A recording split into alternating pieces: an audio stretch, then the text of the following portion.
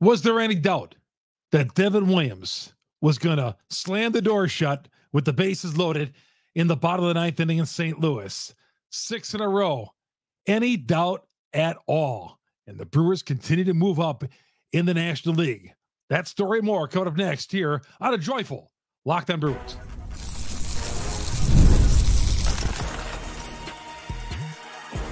You are Locked On Brewers, your daily Milwaukee Brewers podcast, part of the Locked On Podcast Network, your team every day. It's always a always in a better mood around the house when the Brewers get a victory. And our team's in first place by 12 games. Said no one ever that the Brewers uh, 12 games up. Have they ever in their franchise ever been 12 games up? Anytime in their franchise, 12 games up in the division on the St. Louis Cardinals. That's great. I'm just enjoying this victory. You get to the bottom of the ninth inning, and Devin Williams comes in, base bases loaded. You think, oh no, here we go. Strikes out Goldie, and he strikes out Carlson. Game, set, and match to the Brewers. And they take the opener, and they kind of own Busch Stadium right now. They do. They've won their seven in a row. We'll get to all this. Chuck Freimund, Lockdown Brewers, part of Locked On Podcast Network. We are your team every day. I hope you're feeling as good as I am right now. And I know I'm, I'm setting myself up for one big heartbreak in October. I know I am. I know it. I can feel it. I can feel it. I, I just know it. Things are just going so well right now that I'm setting myself up for disaster. I hate feeling that way, but being a sports fan here, especially the Milwaukee Brewers, I've come accustomed to that. Come accustomed to heartbreak. Longtime sportscaster here in the state of Wisconsin, proud host of Locked On Brewers, part of the Locked On Podcast Network. We are your team every day. Thank you, all your everydayers, for listening and watching our video. We'll tell you all the places you can get the video and download the podcast coming up here in a little bit. First of all, this episode brought to you by FanDuel. Now through September 22nd, get this deal here, right here. All FanDuel's customers get $5, uh, bet $5, and you get three week free trial of the NFL Sunday ticket from YouTube or YouTube TV. Again, bet five bucks, three week free trial of the NFL Sunday ticket. Visit fanduel.com slash locked on to get started today. And the Brewers jumped out early, something they've been doing lately, getting out early. you know, we like that. There's sometimes they haven't, but they're out to a six game winning streak after that 3 2 win over St. Louis. Yeah, they've owned Busch Stadium. Uh, only 30,000 fans there at Busch Stadium. The lowest attendance at Busch Stadium since Busch Stadium was built for a third time. So, lowest in the non pandemic games. I don't count the pandemic year anyway, but the non pandemic years, well, I guess there was nobody in there in 2020. They li- that's right. First part of 2021, they were limiting us at games. Remember, you had to keep a distance. Uh, I'm not going to go down that road, but that's how it was. Anyway, Busch Stadium, uh, Busch Stadium three, lowest attendance in a non-pandemic game. This one right here, uh, 30,000. And, you know, a lot of Brewer fans down there going down there, enjoying the trip. It's a long, boring trip to St. Louis. It is. But not when your team wins and holds on and wins this game. Now, yeah, they're 20, 21 games over the 500 mark. They are going into the into this uh, podcast tonight. They are tied with the Phillies and Dodgers with 52 losses. Now, the Dodgers as I was doing this podcast in the seventh inning, they were trailing Seattle 3 2. Hopefully, Seattle hung on for the win there. And if that's the case, the Brewers will be in a first place tie in the National League with the Phillies. And then the Dodgers will be in third. How about that? How about that? Seems like anytime I do get ahead of myself with the Dodgers, they find a way to come back and win. So we'll just say, as of right now, it's 52, 52, and 52 between the Dodgers, Brewers, and Phillies with losses. How about that? And the last three games, yeah, it's not been real exciting on offense. They've scored seven runs in the last three games, all of them victories. 2 1 Saturday night, 2 nothing on Sunday. And then this one looked like it was going to be another 2 nothing game. Ended up a 3 2 final. A 3 2 final. But this game going down to St. Louis, the Brewers were underdogs today. Somebody tweeted at me Brewers are underdogs in this game. Bet it all on the Brewers. Like I've said, if you bet on the Brewers this year, you are a rich man. You are a rich man. How many times have they been underdogs, especially on the road, coming through big time? And they had Frankie Montas on the hill. Yeah, Frankie, I didn't think through his first three performances with the Brewers was all that great. Now, in this last one, he did show some signs of being better, although I didn't think it was all that great. The Brewers organization praised him. I didn't think it was all that great. But Frankie went seven innings on one hit. Wow. Frankie continues to pitch like that. Then we're going to have a discussion on who the four starters or three starters we're going to are going to be in the postseason if Frankie continues to pitch that way. I'll just bottle it up and take it while I can. And I'm sure Cincinnati, the Reds, are looking at it like, oh, we gave away, we helped the Brewers win this division because we gave them Frankie Montas. Brewers are 4 0 in games that Montas has started so far because they have supported him offensively in three of those starts. This one, Brewers didn't sc- only scored three runs and they won the game. But it was Montas' turn to do the heavy lifting, and he did. And that bullpen, Williams comes on in the ninth inning. And yes, second and third, intentional walking up, bases loaded. Goldschmidt's up, and you're thinking, oh boy, is Goldie going to line a little looping single to left field? And there goes the ball game. No, he strikes out. And then Dylan Carlson comes up. Is he going to end the ball game with his 203 batting average, 19 home runs? He strikes out. Game, set, and match to the Brewers. Man, six in a row. Six in a row. What is it, like 11 of 14 that they've won? Now, I am worried about this because if you're a Brewer fan, you're always going to worry about something. I do worry about this. If the Brewers are playing such good baseball right now, and there's areas for improvement, but if they're shooting their best shot right now, and you know they play so well right now and through September, I'm getting my head of myself there. And then October, they fall flat. And then we're looking back in October, we're saying, God, where was this? Where was the way they played in September? Where was the way they played in August? Where was the way they played in July? Well, July, they had a losing month. But August, when they're playing these heavy hitters. And I in St. Louis, yep, they're a division opponent. They're not World Series caliber by any means, but they're still a division opponent. They're a rival. And the Brewers have won seven straight down there. So it's still not going to be easy when you play those guys because technically they're in the wild card chase as well. And they got something to play for, even though they got some teams to leap over. So, yeah, uh, not a bad team they played. Bad team that's underachieving. They're a few games under the 500 mark.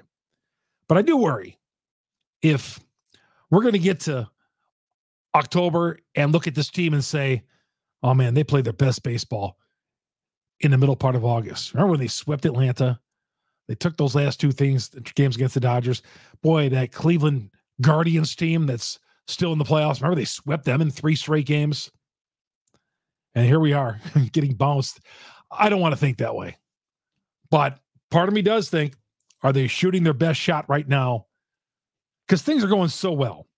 Yeah, offensively, they can step it up. They're going through a little bit of a one of those Brewer things right now, but their pitching is picking them up. Their pitching has just been so good here in the last few games. So good. Just outstanding.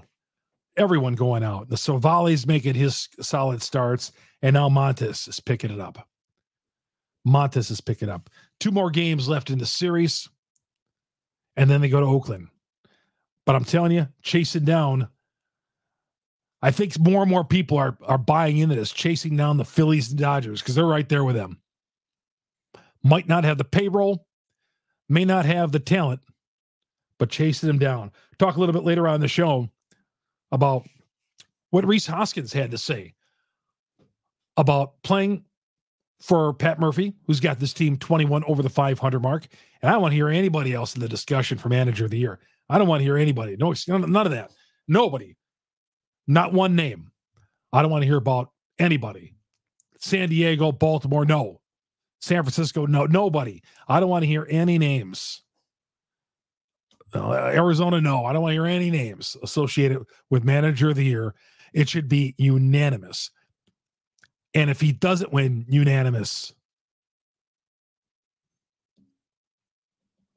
manager of the year, I don't know what to tell you. We got to find who those voters are that don't. Because Murphy has just been amazing.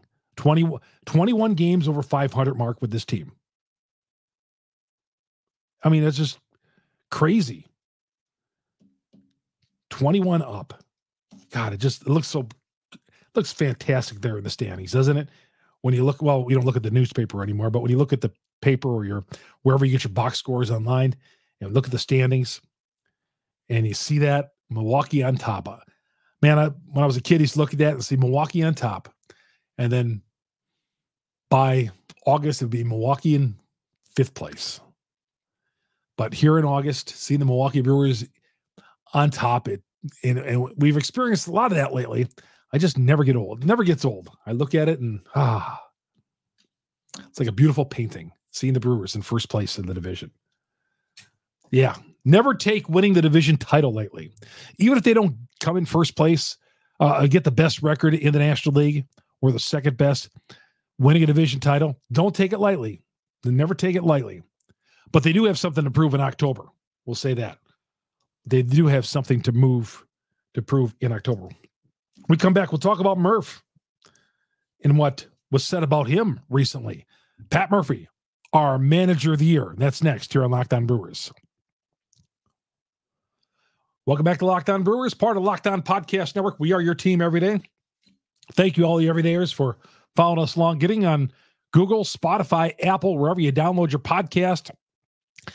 We are on all those platforms. We're the number one Brewers podcast on the internet because of you great Brewers fans out there. You made us the number one Brewers podcast. So if you're watching us on YouTube, there's all sorts of places you can get the audio version of this. And you can have your presets on that. You can uh, favorite whatever, however you go to your your audio platforms, get it there for you in the morning favorite it, whatever you have to do. And of course, if you're listening on the audio version, go to YouTube. Please go to YouTube, search Locked On Brewers on YouTube, hit the subscribe button, hit the bell. That alerts you every time we drop an episode here on Locked On Brewers. Hit the like button, please. Whatever you can do to help the channel. All the content is free. We're just trying here. We're just sitting here talking to Brewer baseball with you Brewer fans. You long suffering Brewers fans, each and every one of you guys, all of us, we're pulling through this team, wearing our Brewers jerseys, pulling through with these guys trying to get these guys a series win this year. Get them to the World Series. Heck, get them into the divisional series this year. Let's start there. Let's start there by winning one of these top two spots. All right, FanDuel. FanDuel, and the Brewers were plus 115 on the money line on Tuesday. And I hope you all cashed in like uh, some of us did. Um, and if you did with FanDuel, all the better. FanDuel's got a little something differently for you right now. Through September 22nd, I was talking about this earlier. All FanDuel customers can bet $5 and get a three week free trial of the NFL Sunday ticket from YouTube and YouTube TV. You know what I really like for the Sunday ticket? I love those late afternoon starts because there's like three games going on, three or four games going on. Flip back through all three or four of those games. Usually the Packers, you know, if they have a noon start or a, a Sunday night football, you know, there's three or four games when you're trying to get, you know, you're you're you're you might have a, a dime or two. No, I shouldn't say a dime. That's too much. Um, you might have a couple of pennies on these games, those late games. Sunday ticket, those 415 start Eastern, 315 Central. YouTube and YouTube TV, you get a free trial of the NFL Sunday ticket right now when you bet five bucks on FanDuel. FanDuel.com slash locked on to download America's number one sports book FanDuel. Of course, with the YouTube TV uh, base plan, you'll be able to watch every regular season game Sunday, out of market TV. Need a Google account or and a current form of payment? And you can cancel every time. But take advantage of this chance to get the Sunday ticket for three weeks. FanDuel.com slash locked on and go there and get all the deals. Details. Chuck Freimund here on Locked On Brewers, part of Locked On Podcast Network. We are your team every day. Brewers have game two coming up in St. Louis, 645. The broadcast on Sirius XM, the SXM app. Search Brewers. You get on 165. 165. Well, hey, if there's postseason, you'll get three more postseason games. let's hope it's more than 165. All 162 of the regular season of Locked On Brewers on Sirius XM, the SXM app. Great partners with us here on Locked On Brewers. So the six game winning streak, seven straight, seven straight wins in St. Louis. I think that is just amazing. So Pat Murphy was on foul territory recently, and he was asked, What's it like playing for Pat Murphy? What's it like to be playing for Pat Murphy? And he says, You know what? what it's like playing for Murphy, he puts a smile on your face. He keep things he keeps things light. When things might be going in one direction, Murphy keeps things light. He's a baseball guy. The guy's been in every baseball. This is coming from Hoskins. He's been in every baseball situation possible. So when he steps on a diamond and looks at the diamond and sees the game, he's seen it all. And this is Rhys Hoskins talking. He says, Murphy knows we have to do things a little differently. And Hoskins knows this because he was in Philadelphia where they could buy a, a Bryce Harper and guys like that. All right. Although they didn't pay for him, they did not pay for to keep Hoskins. The Brewers did. They did not want Hoskins anymore, but the Brewers did. But uh, the Brewers have to play, according to Hoskins, and we know this, have to play differently. We have to cause chaos. We have to run. We have to steal bases. We have to bunt. We have to do all these little things basically what we've been saying all year long is the Brewers have such a small margin of error. They got to do all the little things to win a ball game. That's what they have to do. And Hoskins said fundamentals. Fundamentals. If you love fundamentals, yeah, there's sometimes the Brewers will sway away from that a little bit, but fundamental baseball is what it's all about. Fundamental baseball is what it's all about. Um, and that's Pat Murphy. Realizing that you have to do the small things. Now, didn't Craig Counsell try to do that? Now, we all think Craig Counsell's a smart guy, and he is good baseball guy. Whether we dislike him going to Chicago or not, whatever.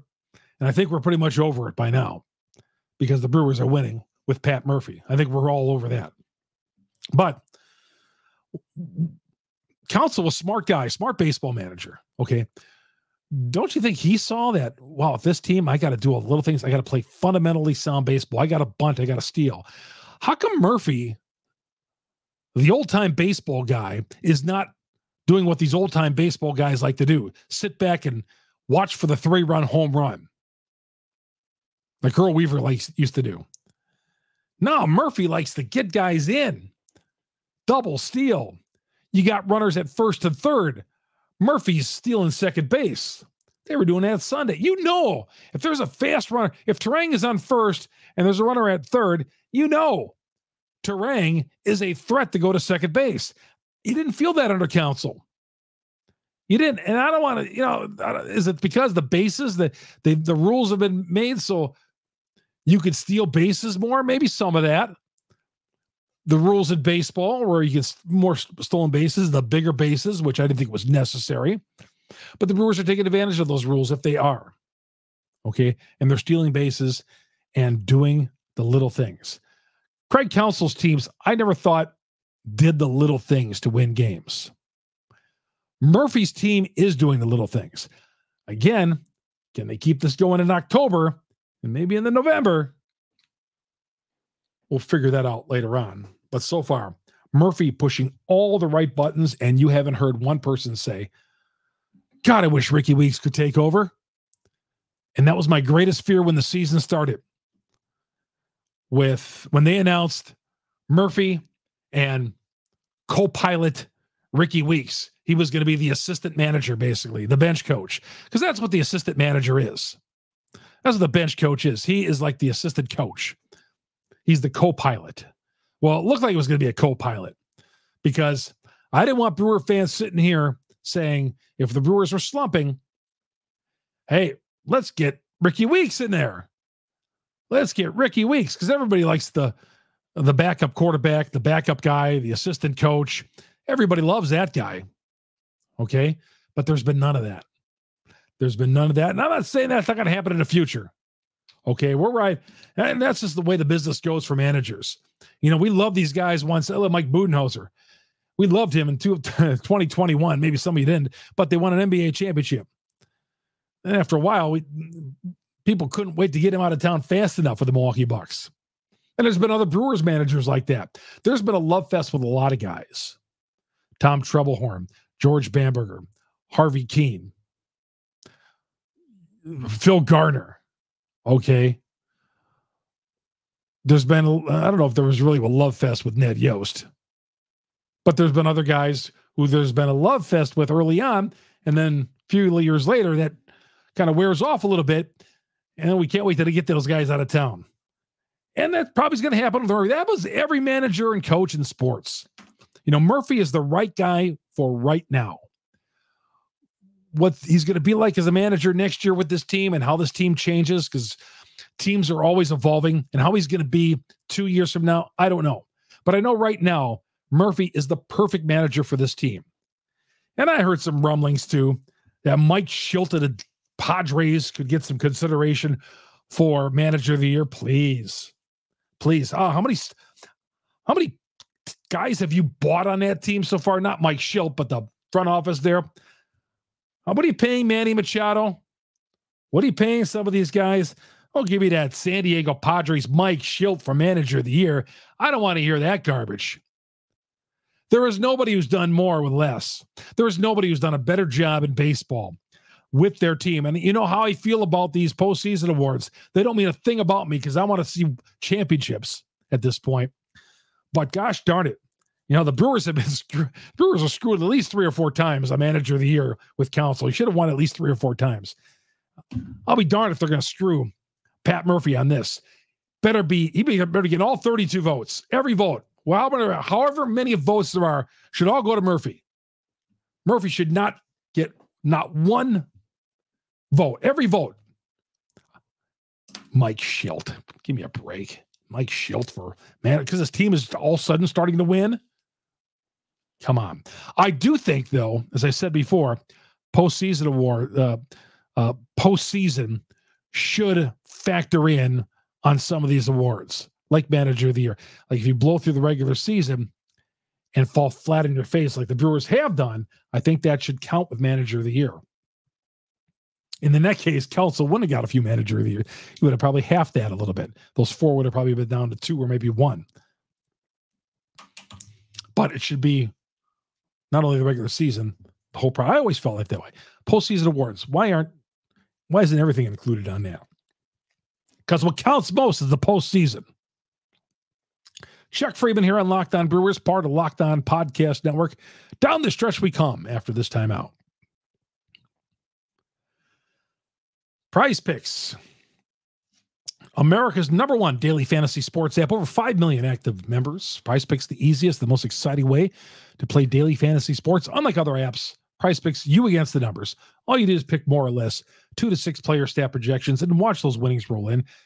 Maybe like Turang over on the hits uh, on, on Wednesday night, or yeah, Wednesday night, maybe like that. Uh, whatever it is, pick more or less two to six player stat projections and watch the winnings roll right in. Get on all the daily action with your friends. Become part of Prize Picks community today. But first, you, what you got to do is you got to download the Prize Picks app today. Prize Picks, use the promo code Locked On MLB. That first deposit match up to 100 bucks. Again, Locked On MLB. Prize Picks deposit match up to 100 bucks. Prize Picks, run your game with the folks at Prize Picks. Chuck Freimund here on Locked On Brewers. Brewers play game two of their series coming up with the Cardinals on Wednesday night. I almost I, I lose track of what day of the week is because the Brewers didn't play Monday, and today is the first game of the series because this this series goes Tuesday, Wednesday, and Thursday. Because I always think in terms of Monday, Tuesday, Wednesday, but the Brewers had had Monday off. So this is Tuesday night, Wednesday morning. Haven't had a chance to talk about Sal Frelick, and we're going to get to him. We're going to get to him on one of the coming podcasts. Uh, and Frelick had a big night. And Frelick gets a lot of hate on Twitter. He certainly does. But we're going to talk about Sal coming up here sometime here in the next week or so. I, I threw out a little tweet on that and all that about where you are with Sal Frelick as an everyday player. Hey, everybody, the Brewers got the job done. Brewers got the job done. Trevor Megill was reinstated. The Brewers are doing so well out of the bullpen. They have an abundance of talent out there in the bullpen. Elvis Peguero, even though at times he has struggled, the overall Elvis Peguero, I don't know if I have a complete faith in him, but he did get sent down to AAA. He did have an option there, so he got sent down. We'll probably see him back up here in September, I would say. Um, whether he's you know that postseason roster is going to that'll be curious to see when that comes because I think we all think that Brewers are going to go to the postseason, but when that postseason roster comes, who's going to be left off the postseason roster? We don't have to answer that question yet. We got a one or two seed to win. Hey, everybody, join me on Google, Spotify, Apple. That's where you download, wherever you download your podcast. Locked On Brewers is there. And of course, our growing YouTube page. Search Locked On Brewers. Hit the subscribe button, hit the bell that alerts you every time we drop an episode on Locked On Brewers.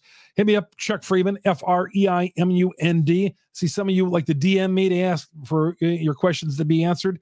Hey, that's a great way to get to me as well. If you want to DM me anytime, 24 hours a day, I'm not saying I'm answering 24 hours a day, but I could. I could be up at three o'clock in the morning, and you might, when you wake up in the morning, you might have that answer for me.